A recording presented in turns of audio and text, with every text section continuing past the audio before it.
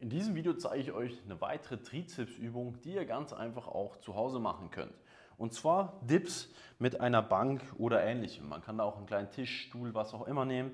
Startposition ist so, dass wir nach vorne gehen und hier hinten die Arme so platzieren, dass sie senkrecht nebeneinander stehen. Die Handflächen zeigen in dem Fall nach hinten und die Schultern sind hier auch unter Spannung. Wir wollen hier nicht durchhängen, sodass die Schultern bei den Ohren sind, sondern die Brust kommt raus, die Schultern bleiben hinten. Und von dieser Position lassen wir uns nach unten ab, gucken, dass die Ellenbogen trotzdem eng bleiben und wir drücken uns aus den Ellenbogen, aus dem Trizeps wieder nach oben.